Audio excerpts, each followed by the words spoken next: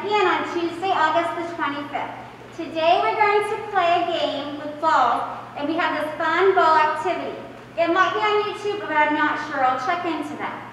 And our game for today is called Mash the Trash. All right? So here's the directions. Children, form a line. Starting on that black line right here. Uh, behind Mrs. Lehman, please. Thank you.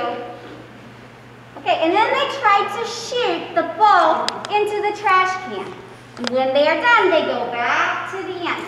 Do you see the balls we're using? These balls are small and they fit the little kids' hands. So it's better for them to learn with a smaller ball and then as they get bigger, go to a bigger ball. And remember, don't forget to do your morning, your stretches and your warm-up.